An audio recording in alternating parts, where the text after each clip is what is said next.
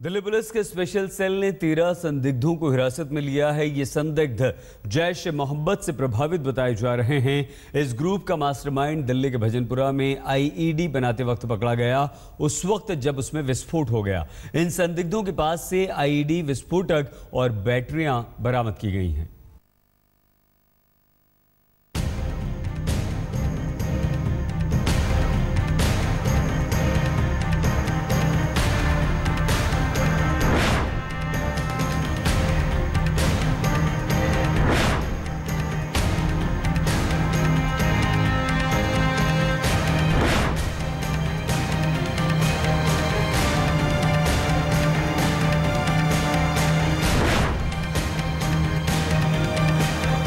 बुधवार की सुबह दिल्ली पुलिस की स्पेशल सेल हरकत में आई तो दिल्ली से लेकर गाजियाबाद के लोनी और देवबंद तक छापे पड़ने लगे।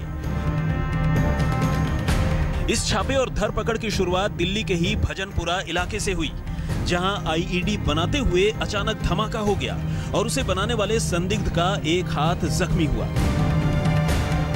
पुलिस की स्पेशल सेल ने ऑपरेशन चलाया तो कुल तेरह लोग हिरासत में लिए गए।